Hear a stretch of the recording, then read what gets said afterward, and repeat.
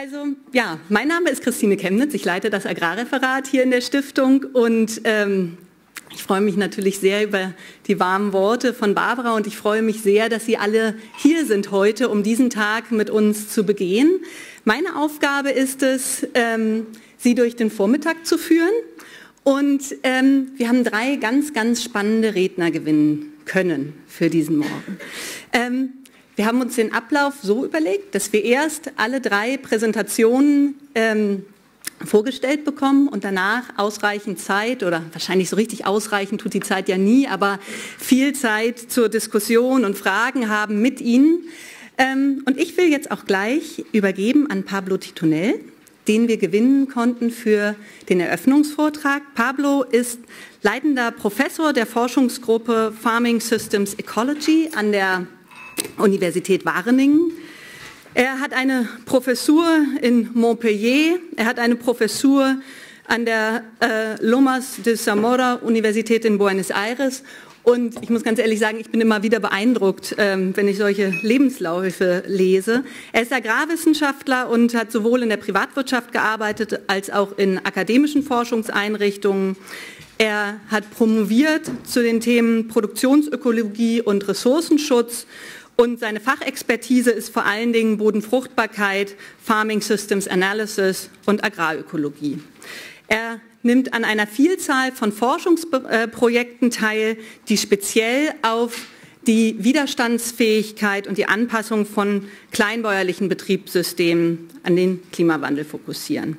Pablo war unter anderem auch einer der wichtigen Redner des FAO-Symposiums zur Agrarökologie. Das ist der Grund, oder war der Auslöser, warum wir ihn eingeladen haben. Und wir freuen uns ganz besonders, dass er heute hier ist. Welcome, Pablo, and thank you so much for being here.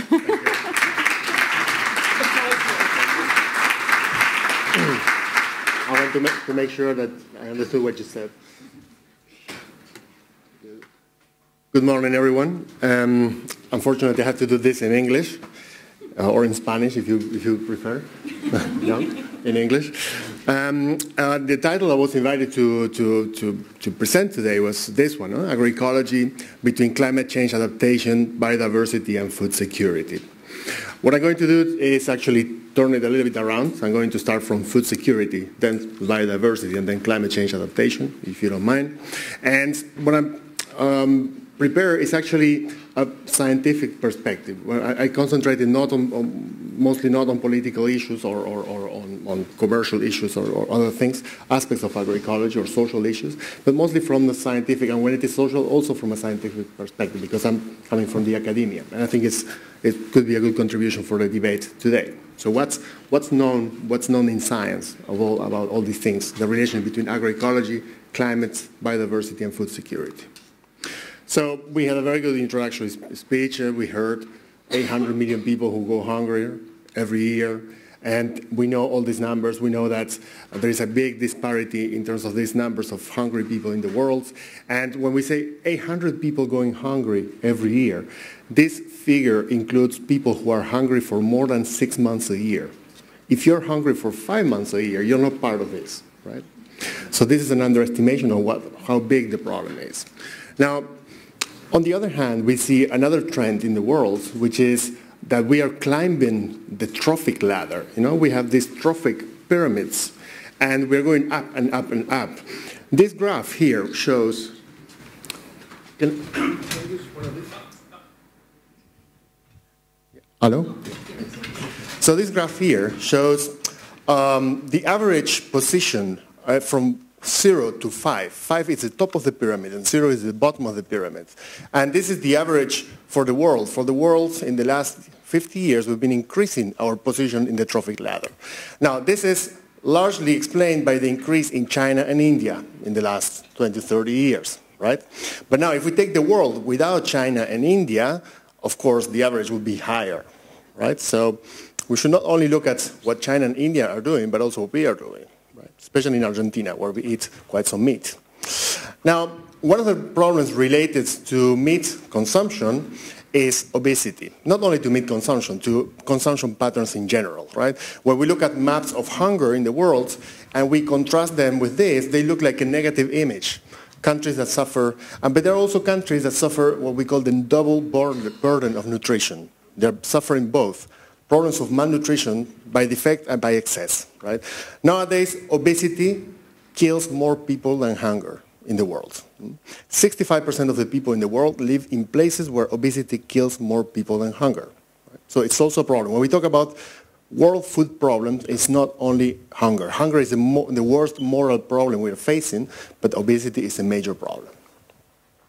Another problem related to scarcity of food is volatility in prices of food, right? And we know that every time there is a peak in the price of food, there is a riot, there is social unrest. The most example, the most conspicuous example is the, the Arab Spring, right, in 2011.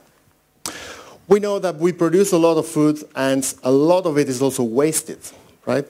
30 to 50% of the food we produce will never reach a human stomach, right? If we take the case of India, as in this picture, and if we take the case of wheat only, India wastes 21 million tons of wheat, right? This is twice the production of wheat in the whole of Argentina. Right? It's four times the production of wheat in Spain. It's 20 times the production of wheat in the Netherlands. It's a lot of wheat which is just wasted because of poor storage conditions, right? The technology to avoid this is there. We don't need any rocket science here. It's just dryers and silos.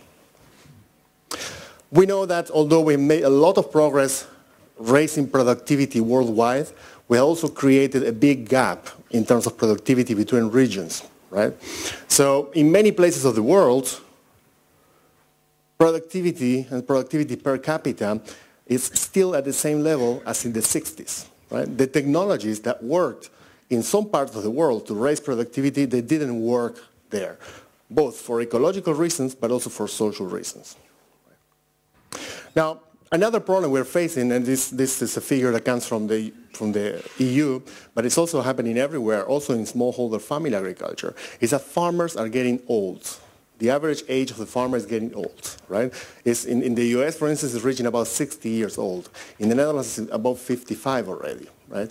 Many farmers are there and their children are not taking over. Farming is not attractive to the younger generations, right? So who's going to produce our food in the future?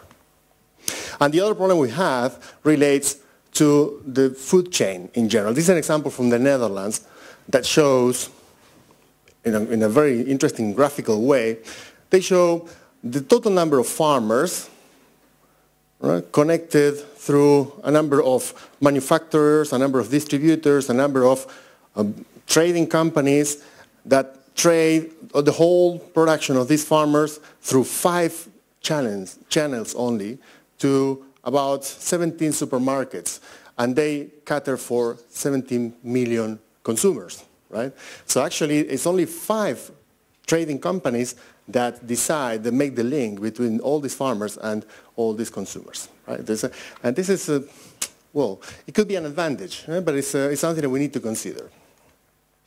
So with all these things in mind, then we can start talking about food security. And I'm going to take over from some of the figures that, that Barbara was, was giving us this morning. Who's producing our food?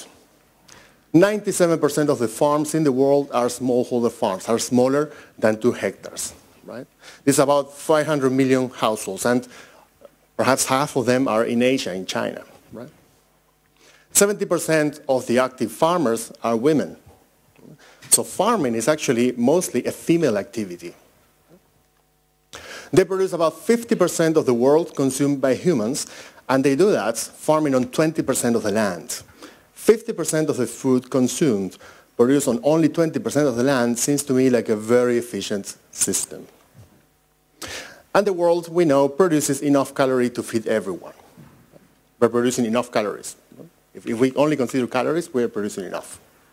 Now, what's the problem? Why do we are we unable to deliver food to the system, for the food system? Well, look at this picture. This picture is a map that shows in green, in shades of green, the number of people that you could feed per hectare if you assume that everyone needs this. Uh, so it's a little bit above the requirements. Imagine that you, you plus a pet and plus some waste, that's what you need per day. And so the green areas, the most productive areas of the world, can feed up to 10 people per hectare. Right? But now, This is the actual figure. This is how many people are actually being fed with one hectare of production from all these areas. And what we see there is that many of the places that before looked dark green, in this actual picture, they don't. They're only feeding about two to three people per hectare. And why is that? Well, because the food produced in many places is not used to feed people, right? It's used to feed livestock and although livestock is already counted in the, in, in the green part, in the, in the, fraction that is delivered to the, to the system, there are losses in that transformation.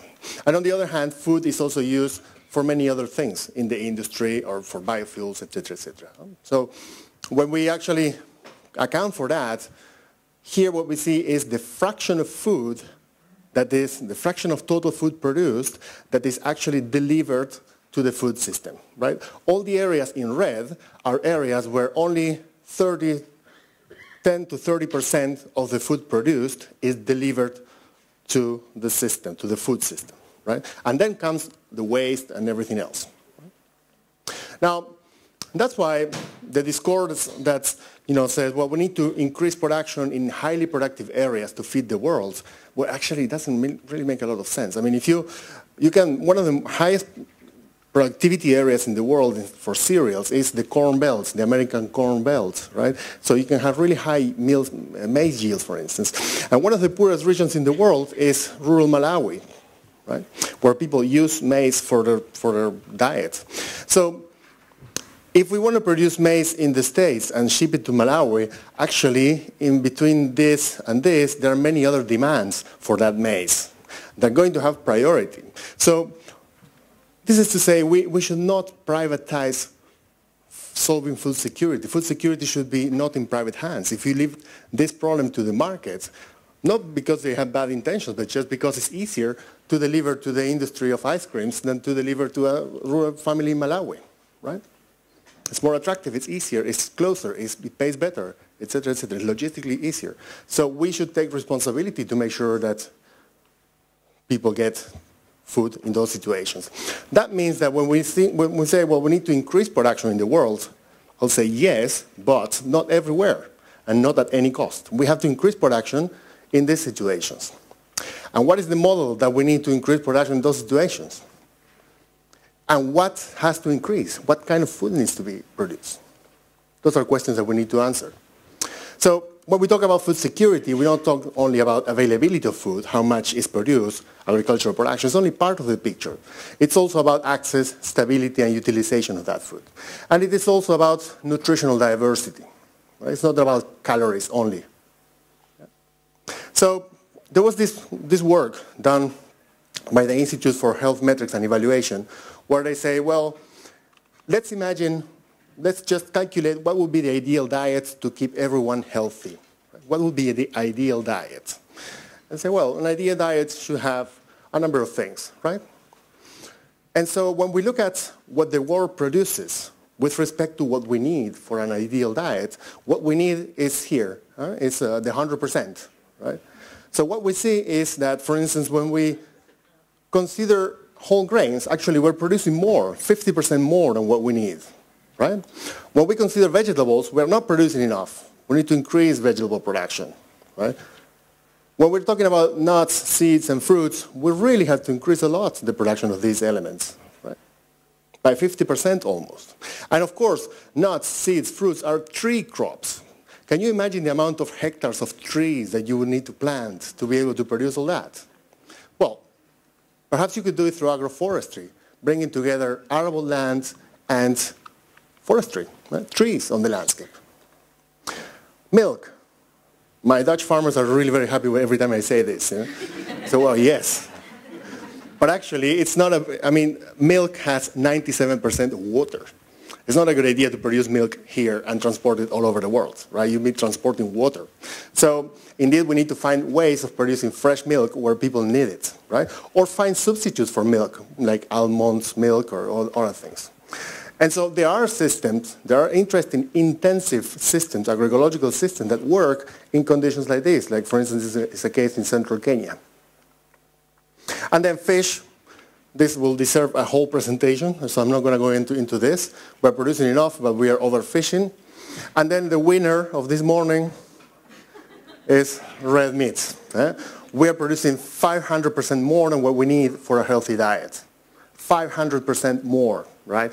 And I'm not going to go into this because Professor Walter Peng is going to explain this very well, but these are some of the consequences of increasing meat consumption, especially red meat, right? So this is deforestation. This is a picture that comes from the Chaco forest in South America, which is not as sexy and attractive like the Amazon, but it's the one that's being deforested at the fastest rate, right? And of course, this has enormous consequences for both society, people who live there, but also for nature, right? And it has consequences also because these soils are marginal. You know, this soil were not cultivated for a reason. Now they're being put into cultivation because the prices are good for the, for the soybean, right? And all the carbon that was stored in those soils and in that vegetation is now in the atmosphere, released to the atmosphere, contributed to global warming. So 25% of the emissions come from agriculture or from deforestation for agriculture, more than transport. So how do we use biodiversity to go to propose an alternative to this? I'm not, I'm not going to talk about biodiversity in the sense of conservation, but how do we use biodiversity to actually produce food? Now, biodiversity, we look at the forest, and in the forest we can imagine all kinds of, of species, animal and plant species living there. But if we also look at the soils, in those soils we find a lot of diversity. And these are, this is a graph that shows what we call a trophic network in the soil. This is something that can be done with DNA mapping techniques. You can map the DNA of the organisms that live in the soil. So you know who is there. It's like their identity card. So you know who's there, you know which functional groups are there, and you know how they relate to each other. Right? It's very important information. Now, when we look at the grasslands, you see already there's a little bit less diversity, a little bit less smaller bubbles, and also less connections between those, those organisms. And when we look at the agricultural fields, we see the degradation in that diversity. Nowadays, we know that the diversity in the strength and the nature of these networks has a lot to do with the efficiency of nutrient use, of nutrient release to plants, and also nutrient capture, right? These systems are not only having less nutrients, but also are more leaky. And any nutrient, even as a fertilizer, will leak faster through this system than through this, this, this system, right? So this is an important element of biodiversity that we, don't, we can't see. But now, thanks to new lab techniques, we can actually identify very well. And we know that certain ways of farming, like organic farming, have an important influence on those networks in the soil. Now, another element of diversity which is important in farming is arthropods in general, insects, beneficial insects. They are helping us. They are helping us controlling pests. They're, they act as natural enemies, natural control enemies. They act as pollinators, right? But when we design, we need to design landscapes that actually create habitats for them, right? If we want to have those pollinators, if we want to have those natural enemies, we need to also provide them with, the with the habitats. Right? I mean, that means that when we look at the landscape like this, this is a, a map of a landscape with different types of land uses. It's a mosaic. Actually, we should look at the landscape in the way they would look at the landscape, right? So for, for a, a pollinator that needs nectar, this landscape looks like a desert, right? For um, somebody who needs to eat aphids, well, it's, it's like a feast, actually. Uh, there's lots of aphids in that landscape, etc. So it, this is important, uh, and it's important for us to actually design landscapes in a way that we can host this diversity, right? And we're talking about 120 million billion euros per year when it comes to accounting for the benefits of pollination alone. Right? So it's big business. We're not talking about peanuts here. This is another way of looking at how we can create habitats for favorable habitats. For instance, in this particular case, what we have is a map that shows uh, the density of trees in the landscape, and this is the level of parasitism. Parasitism means that this wasp is going to lay the eggs within this caterpillar, and the caterpillar is going to die. But well, it will not eat our, our crop. So if we want to control this caterpillar using this wasp, what we see is that this parasitism is very strong near the forest, but it's almost nil when you move away from the forest. That means that from the perspective of biological control, with this wasp, uh, for this caterpillar, this is not a good landscape design, right? Because here we don't have any control. Right? So with this information, we can start engineering our landscapes in order to have more effective biological control. Right? But of course, this is very data intensive, time intensive. It requires a lot of effort and a lot of scientific knowledge. Here is, for instance, an area in the Netherlands, a polder, where what we have here, each dot there, is a semi-natural element. It's not natural because it's a polder, right? It used to be the sea before, but it's a semi-natural element in the landscape, like a little bit of forest or something like that, or a hedgerow. And for each of those points, the, it's a database, and we, we know exactly which species are there. But we also know not only the names of those species, but also their functional properties. For instance, you know, if we, if we want to have a, a little insect that's going to parasite our pest, right? Now, that insect also needs to feed itself, right? so it needs flowers. And if you, if you have a long nose, then you can eat from any flower. But if you have a short nose, certain flowers don't work for you, right? So that means that we need to have the right flower at the right time to have the right insects. Yeah? So it's really complicated. It calls for a lot of effort in science, a lot of innovation. But it's possible. It's only that it's difficult. It's difficult, but it's interesting, of course. And the most difficult part is not this. Actually, it's not we can engineer the landscape. We, can, we know a lot about the ecology of these insects, of these flowers, etc. The most important, the most difficult part of it is the human factor, right? Because when we say, well, we're going to design a farm, we only have to deal with one farmer. But if we want to design a landscape, we need to deal with a community. And many of them are farmers and many of them are not farmers, right? But they have a stake on the community. So for instance, in this case, also in the Netherlands, where we said, well, it would be good to increase the number of hedgerows there because that will give more ecological cohesion to the landscape for these natural enemies. Actually, some people were not very happy, and they said, no, I mean, I like to see the church of town from my, from my house. You know, I don't want this, or I need to drive a tractor now more because you put a hedgerow there or whatever. So you need to get all the actors on the landscape there and actually get them to negotiate, right, to prioritize objectives.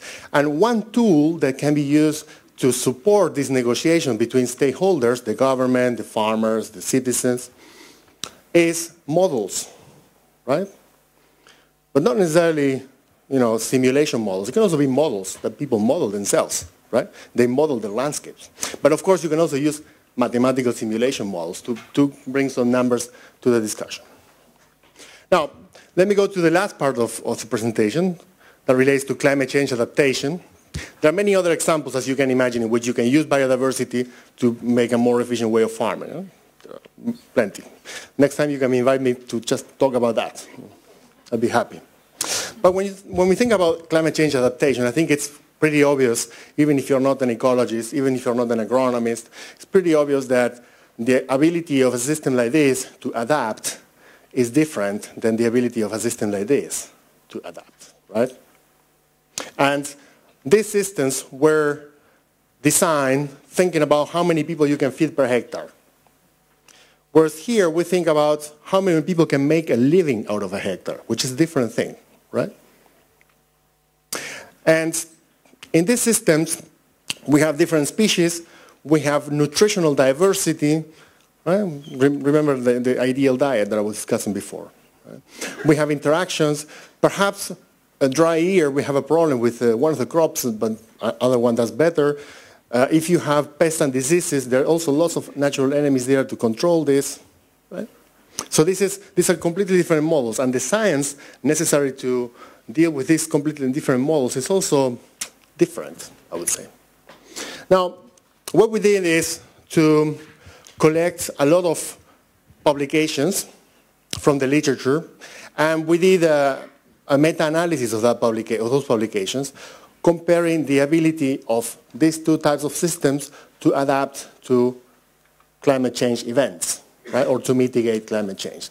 So we actually did a review of 97 published references, hmm, scientific literature.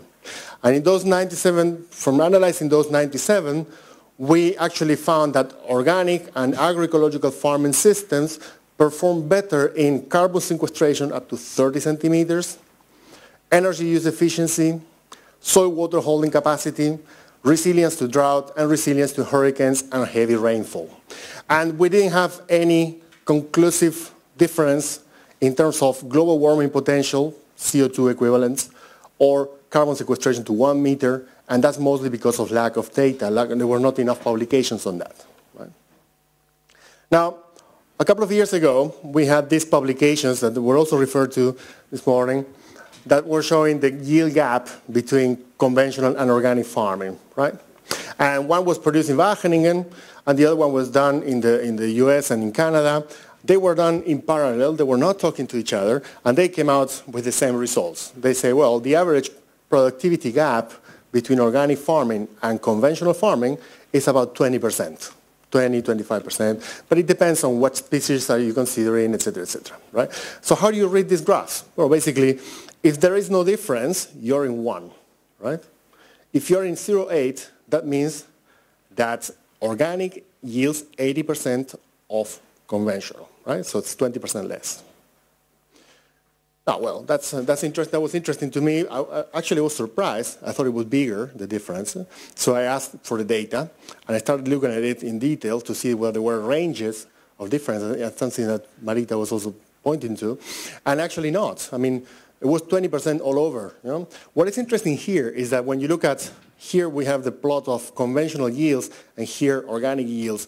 And you see, and these are the quartiles. So actually, 50% of the yields under conventional were already below five tons, right? People often assume that conventional is always highly productive, but these are, you know, for instance, here we have a yield conventional management, that means with fertilizer, with pesticides and everything else, and it's below two tons per hectare. It's really not much, right? Okay, so last year we had this other paper in which they did a very good job published in the Royal Society, published in Proceedings, which is also a very prestigious journal. And what they did is they reanalyzed all those data properly, because what I did here was just a, a, a quick uh, back of the envelope uh, check, but they actually did it very, very well in the sense that they accounted for the different sources of variance. I mean, it's, it's, a bit difficult to explain. For those of you who are interested, I'd recommend to read this paper. And, well, they recalculated those gaps and they say, well, actually, it's not 20%, it's 10%, but whatever, 10, 20 is, isn't much of a difference. And these are all experimental fields. But one thing that they did, which is interesting, is to look, let's look at the gaps per type of management, right? So, for instance, if we think in terms of nitrogen, they say, Let's compare cases in which the total amount of nitrogen applied was the same in organic and in conventional. Now, when the total amount of nitrogen fertilizer was the same, then the gap was 10% or less than 10, was 9%, right? When the more nitrogen was used in conventional, ah no, then yes, it's 30% difference. But it's because they're also using more nitrogen, right? And so on. So they really went in more in detail to understand this variation. Now, my question beyond all this, this statistical analysis is always, well, okay, the gap is 10%, 20%, I don't know. But what's the gap in terms of investments? How much money goes for research under conventional farming and how much money goes into research for organic farming or for agroecology? What's your guess? What's the gap there? 90 to 10, something like that, right? Well, it's hard. I mean, I, I, I wish somebody was able to do this study, and uh, I, didn't have time to do it properly, but some examples. The Dutch government that, in, that invests quite some money in organic farming invests about 4 million euro per year, right? And a company like Monsanto invests 980, right, for conventional. And the Dutch government, this is about, about 5% of the total investment. So the rest goes also to conventional farming, right? So this yield gap between both models of agriculture is also a research gap. We haven't done, most of the knowledge we have for organic farming comes from farmers themselves. And we scientists, we're always behind. Now, of course, those analyses are interesting, but they're are interesting, but they're quite anecdotic because The problem with those analyses is that they are coming from different situations, always, always from control conditions, always from experiments managed by scientists, so you can doubt that. But the problem is that they're also coming from one-year data, right? And when we look at the impact of different forms of agriculture, especially the impact of agroecology or organic farming, is actually a long-term impact, right? And this is um, an experiment in the University of California in Davis. It's a 100-year experiment that started in 93. And they have different things. They're comparing different systems, organic among others. And what they show there is, something like this. You know? And this is to me more interesting than looking at, at the points. Because look, these are the yields of tomato in this case or something like that. Know? Under three under three different management systems, right? So what you see here is that if you would have done your experiments only in 94, your conclusion would be that green is better than blue and blue is better than red. Right? But if you would have done your experiment in 95, only in 95, then you would have said, okay, red is better than green and green is better than blue. If you would have done your experiment only in 96, you would say there is no difference. Right? So that's why it's important to have a long-term data. Huh? Because now, when you look at, at these three treatments, which one is the more stable over time? The red one, right? Organic in this case. It's more stable. And this is not only found here in California. The, the other advantage of having these long-term trials is that we can also look at the evolution of soil life over those, those 20 or 30 years. But also in Pennsylvania, in the famous Rodale Institute trials already for 30 years, I think, and they see the same thing. And what they see basically is that, you know, every time there is a dry year, organic does better than conventional. And this is not magic. This is just more organic matter in the soil, right? And of course, there are many other advantages related to organic and conventional, and among those, also the energy inputs and the greenhouse gas emissions, etc., etc., etc. Right? Now, all of this is compiled in this report, which is a little bit outdated already. It's from 2009, but very useful because it actually summarizes a number of international long-term trials. One of them here in Germany, from Switzerland, from the US, and they look at all those climate variables. Right? So this is really very conclusive scientific evidence. What happens in another context? What happens in the African context? What happens when we have tropical climates and sandy soils, degraded soils? You know that 25% of the soils in the world are degraded, right? And we hear often people saying, well, the solution for Africa is fertilizers. Just give fertilizers to people. With fertilizers, that's the more, more main limiting factor. Well, we tried to restore the productivity of this soil with fertilizers, and the first year, we applied 100 kilo of nitrogen, something that farmers would rarely do in those circumstances because they can't afford them. And 100 kilo of nitrogen plus 30 kilo of phosphorus, and nitrogen plus animal manure, right? And, well, of course, with animal manure, with phosphorus, the yields were better, but you see, they were still below one ton per hectare. It's really very poor. So we're asking farmers to invest in something very expensive, like fertilizers, for them it's expensive, and the yields are still below one, one, two. But okay, we're starting from a degraded soils, right? So we want to build up the fertility of these soils. So the second year, we had better results, right? And the third year, we had a year in which the rainfall was not, it was not really a dry year, but there was a drought during a certain period of the crop flowering. And what happened then? well.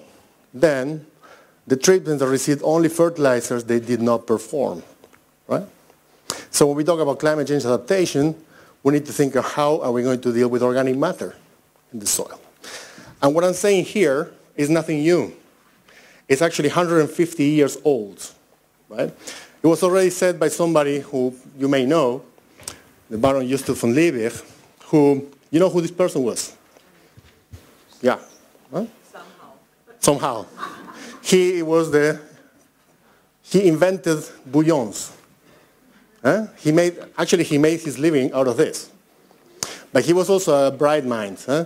He is the person who actually in 1840 published this this report, this scientific treaty, in which he said, look, when you apply animal manure to a crop, what does the trick is not the manure itself, it's the nutrients inside there. So we can actually isolate those nutrients, make a solution, and apply it to crops, and they will grow.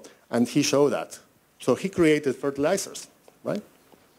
And of course, the, the fertilizer industry has him as the father of the fertilizer industry, the father of modern agriculture.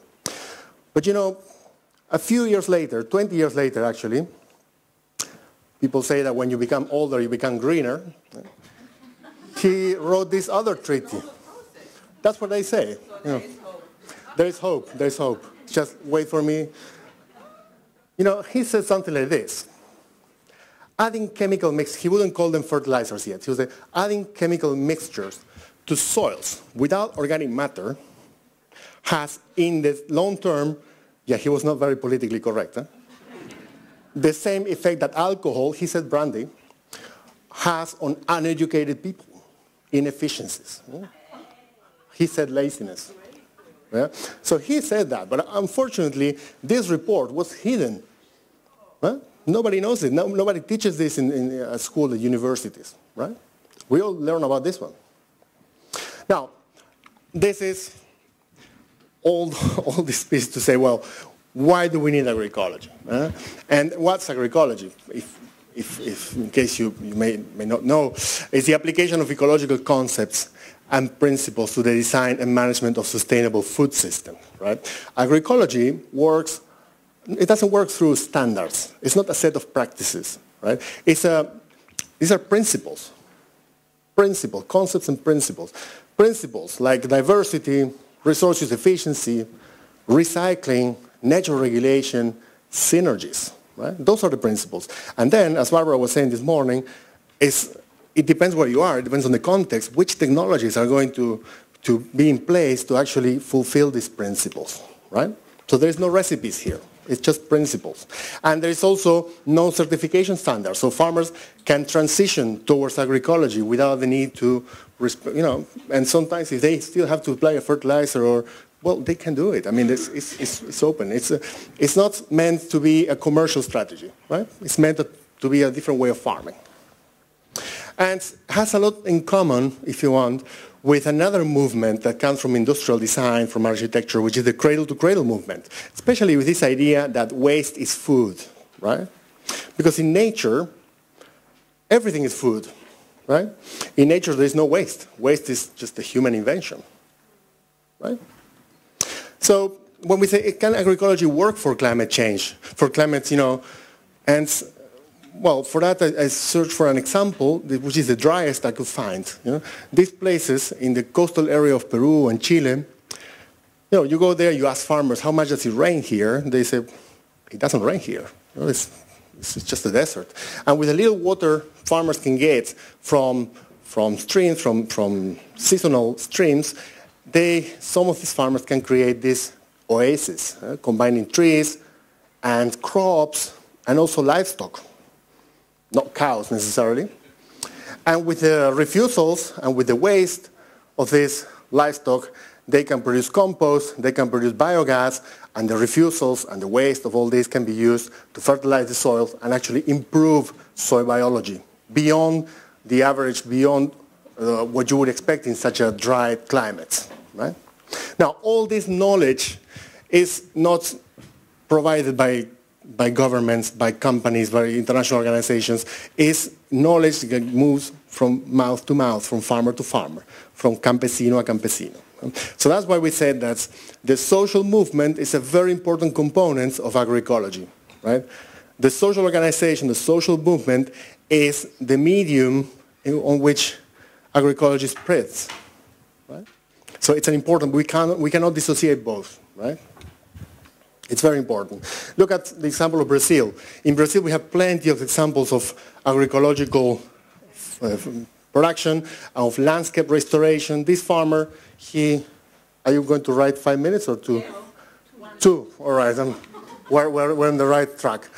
These farmers are not only you know, restoring the landscapes and making a living for themselves, that this farmer is growing coffee, organic coffee, etc., but he's also actually delivering an ecosystem service for all of us.